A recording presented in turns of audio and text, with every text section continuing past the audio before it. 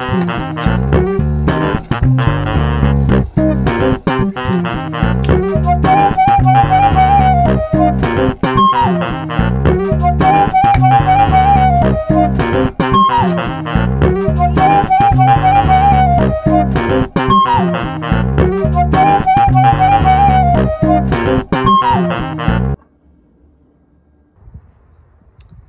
Hello everyone. Welcome to another episode of Tea with Pastor B. Hey, I am standing outside because I can, because I can breathe. Wow, like it's just been so nice to uh, have some um, break in the smoke uh, here in the Bay Area for uh, at least the last couple of days. You know, we've been uh, we've just been pummeled with uh, bad air quality, I think for almost the last month now. And so we finally had some fog come in and you can see how thick the fog is behind me. There's usually a mountain right there that you can see, but it's really hard to uh, see right now because uh, the fog is so thick, but I'm thankful for the fog. Um, it's, it's, it's kind of helping uh, clean some air out for us. And so it's nice to, to be able to come outside. My daughter, uh, generally, like has been itching to get outside uh, for like the last several weeks. And so she's finally getting to play outside a little bit uh, today when she has breaks from school. So um, yeah, just so thankful for uh, some clean air so we can actually come outside and, and, and, breathe. I might go on a long walk today just to uh, soak it all in while we can because I think we're gonna have some smoke come back uh, this weekend. But hey, I just wanted to check in with everyone, see how you are doing. Uh, I am praying for you guys constantly. Uh, it's been so great to hear uh, back from some of you guys. Uh, you know, there are some needs we've been praying for for the last several weeks. And it's just been so exciting to hear God answering so many prayers lately. And so I think that's a very exciting thing for our church. It's a great reminder, hey, God is still moving. God is still working. God has never taken a break uh, during these last six or seven months that we've been facing the corona pandemic.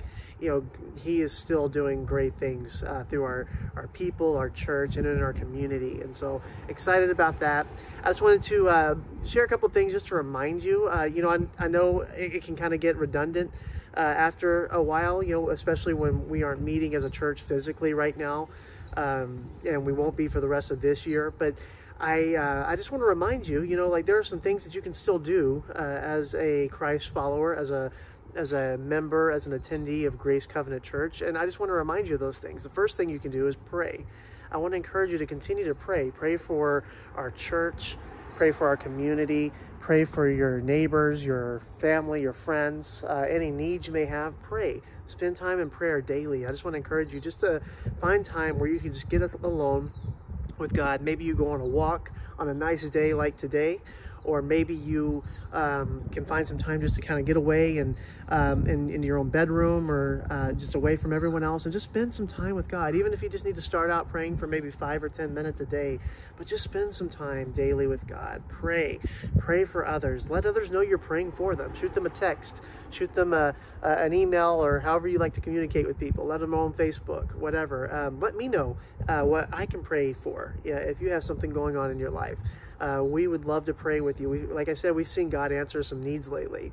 And so uh, prayer works. It's an exciting thing. It's, it's uh, direct access to the throne room of God. And so I just want to encourage you, pray, uh, spend time in prayer. The second thing I want to encourage you to do is to uh, give. Uh, you know, as a church, you know, we still have to function. We still have operations. We still have bills to pay. We have missionaries to support.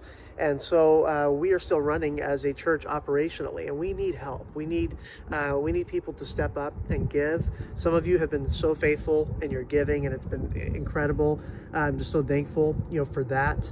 Uh, as a pastor, I personally do not see uh, individual giving. I don't know who gives what, but I see a bottom line. And you know, lately our bottom line hasn't been you know hitting the mark that we need it to. And so I just want to encourage you, if you can, uh, give. If you haven't been able to give uh, during the pandemic, um, I just want to encourage you find you know even if it's if, if it's not what you fully want to give just give something. I want to encourage you just to do that. I know some people have lost jobs uh, during the pandemic. Some of you have had some reductions in income and i understand that.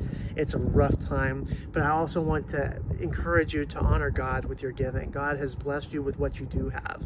And so i just want to encourage you you know give um, it, it, goes to a great cause. It goes, as I said, to missionaries that we support around the world. It goes to support the operations of our uh, church organization. So I just want to encourage you, please give. Um, if you are giving already and you can step up a little bit in your giving, I would encourage you to do that.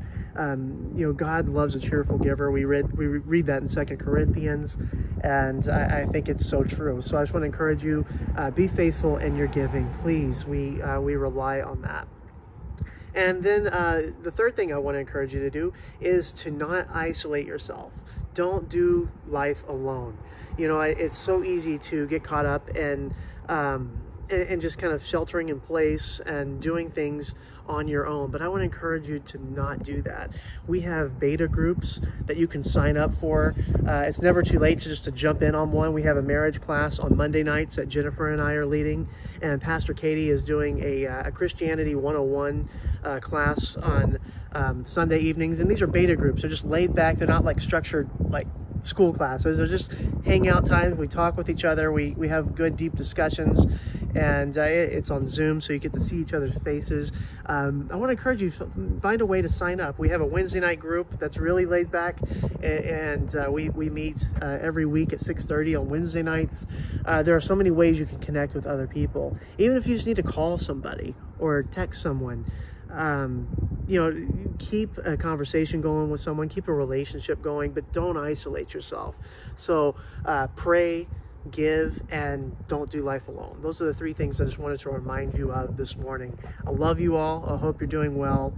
Let me know how things are going. And uh, we'll see you guys Sunday morning, 10 a.m. Excited to get into uh, the book of James again.